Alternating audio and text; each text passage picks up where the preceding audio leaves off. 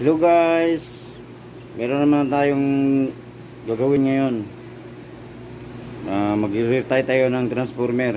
Kasi ano, ah, nagbabaga siya, ano, mainit na mainit masyado. Possible nun, ano, may